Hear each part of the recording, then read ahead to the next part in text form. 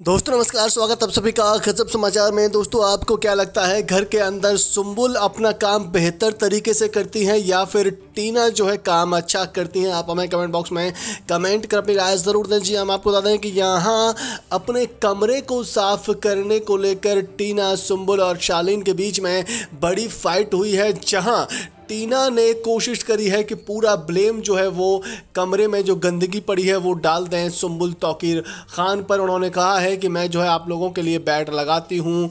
तो आप लोग जो है यहाँ कमरे को साफ़ क्यों नहीं करते? आप सोफ़े को साफ़ क्यों नहीं करते हैं? और वो जो है यहाँ काफ़ी ज़्यादा चीख चिल्ला रही होती हैं सुम्बुल तोकीर ख़ान पर। वहीं बात करें यहाँ सुम्बुल तोकीर ख़ान की तो उस टाइम पर सुम्बुल जो है काफ़ी ज़्यादा शांत थी, लेकिन यहाँ शालीन को लगता लगता है कि अब जो है सुम्बुल क्लास लगा सकती है। तो शालीन जो है, सुम्बुल से कहते हैं कि सुम्बुल, आओ मेरे साथ साइड में बात करनी है। जी हाँ तो यहाँ जो शालीन, क्योंकि यहाँ जिनसे ज़्यादा बड़े हैं, उनसे ज़्यादा दुनिया देखी है, एक बार फिर से उनको अपनी बातों में फंसाने की कोशिश कर रहे होते हैं। लेकिन यहाँ सुम्बुल ने आज सबसे शानदार काम किया है कि शालीन की बातों में नहीं आई है। जहाँ शालीन कह रहे थे कि हम तीनों स्ट्रॉन्ग बॉन्ड हैं, वहीं यहाँ सुम्बुल ने कहा है कि मेरा और टीना का कोई स्ट्रॉन्ग बॉन्ड नहीं है, मेरा और आपका हो सकता है।